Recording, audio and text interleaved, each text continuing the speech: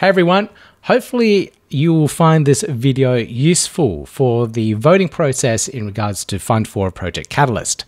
I'll take you through the entire process of registering your app with your wallet, which hopefully you've already registered for, and take you through how you can browse through all the different projects within Fund 4 so that you know what you're voting for. All right, let's get into it. The first thing you want to do is open up the Apple App Store or the Android Play Store, I guess, and type in Project Catalyst. And here you can see I've already downloaded the app. So I'll just open it up. And here we are. This is the home screen, the uh, the My Votes or the dashboard, and you can see there complete uh, complete registration to receive voting power. So when you registered your wallet, you would have received a special QR code. And this QR code is what you need to register, uh, finish registering your wallet. Now, what the app is showing now is the general registration process for your wallet. So you'd had to go to Daedalus, Yoroi, or AdaLite, red, go to the voting center of the app, and then register your wallet. At the end, you'll get that QR code, which you can now use in the voting app to scan and there's my messy desk while I organize my PDF to get scanned.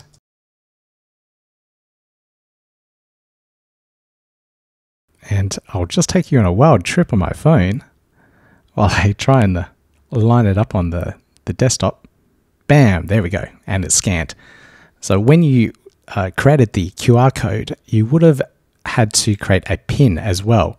So I'll just hide my screen here while we do the pin. And there we go. So that decrypts the QR code and allows you to register the app, uh, your voting power, sorry, onto the app.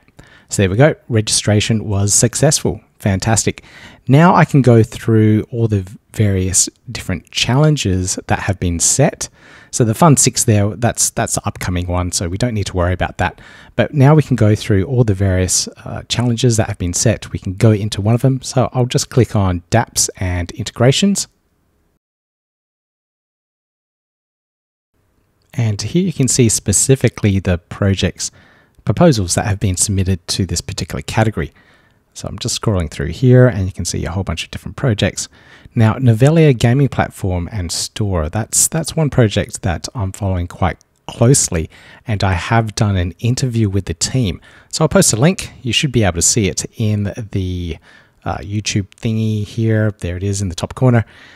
And this here, I've clicked on it. You can now see uh, a project overview, how much they're asking, the ratings for this. Now, this comes from the Catalyst uh, advisors that have gone through the proposal to see if it has met the requirements for this particular challenge. So I'm just going to click on vote. So I have one vote pending. So I'm just going to click on yes vote. Now that takes me to the My Vote screen where I can see the particular projects that I'm currently voting for. So now I actually have to cast my vote which submits it. And then it takes me back to the home screen, the dashboard, where I can see more projects and go through different categories uh, to see what else I can potentially vote for.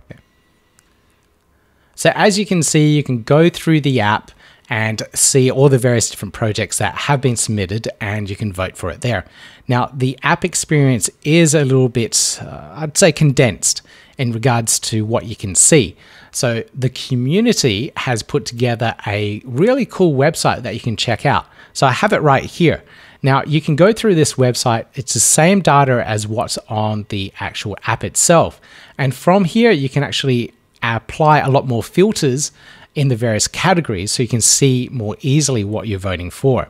So you can browse through the different areas, see what projects there are, do different sorts of filtering against that, and then drill down further into the IdeaScale links where the original proposals were submitted and find out a little bit more about the project and the people behind it. So let's just go through that process and have a look at the website uh, in relation to how it actually all works.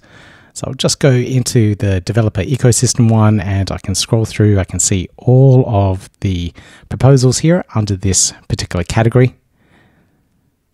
And I'll just go back up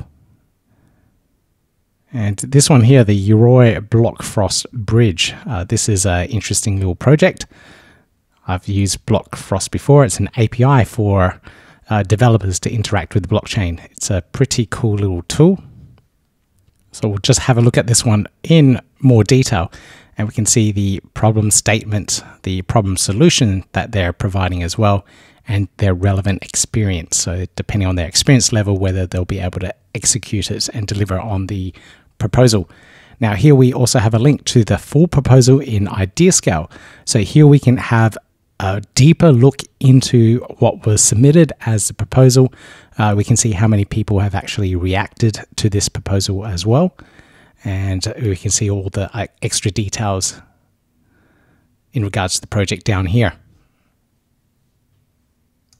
As you can see, there is a lot more detail in regards to the project if you drill down into IdeaScale. But uh, like I was saying, it's a little bit harder to, to see all that detail uh, in IdeaScale and navigate around from project to project. So the uh, community tool is a brilliant way to go through it. Now you can see how much funds they're requested there. So 6,500 USD, uh, which is a pretty good price. It's only 1.625% of the entire budget for this particular challenge. Now, on the right hand side here, we can see the reviews by the community advisors. So they're reviewing the proposal based on a certain criteria, whether it's meeting the requirements of the challenge or not. So we can see the impact score, the feasibility and auditability of this particular project. And we can also see the further reviews and breakdowns of those scorings as well. So it's all there. You can see exactly uh, how it's all broken down and how it's all done. Now, back on the homepage of the site, or back in this particular category, we can see the different filters that we can filter the projects by. So the amount of requested budget for 100,000 in this case, maybe a little bit high. But uh, like you could see there, you can sort it by review score, alphabetical order, uh, the random sorting as well. So you've got a couple of options there and just makes it a little bit uh, different. Uh, it's a slightly different way of going through the project. Now there is a Reddit post that takes you through this entire process as well. So if I haven't made it really clear of how to go through and step through this process, check out the Reddit post. It will tell you everything that you need to do and all the time, dates that you need to get things done by. So it's a good reference piece of material. Uh, I won't replicate it, it doesn't need to, it's uh, all there for you.